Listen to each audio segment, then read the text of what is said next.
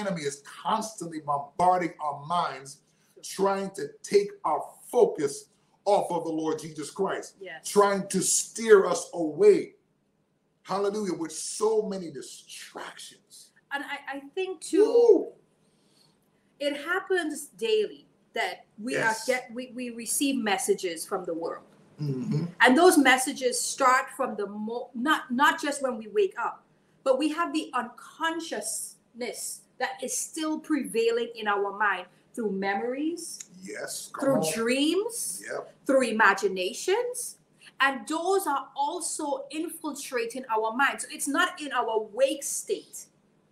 It's even in our sleep unconscious mode. So sometimes we'll say, well, my mind is clear. But our mind is never really clear because we our mind is still unconsciously and subliminally working at all times. So that is why it's so important for us to be active participants as to what is coming in to our mind, what is settling in our mind, and what Yes. we're releasing from our mind. Oh, And so, God. in order for us to have that automatic mental response to the messages that are coming and settling in our mind, we need to always be one up mentally speaking with the Word of God. with the word of God. We cannot use the Word of God just to medicate, medicate Come on now.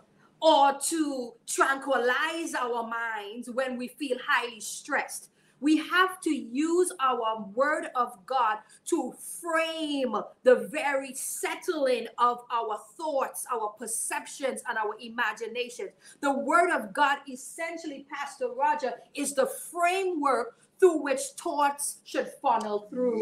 It's the filter through which our thoughts should funnel through. Does that make sense?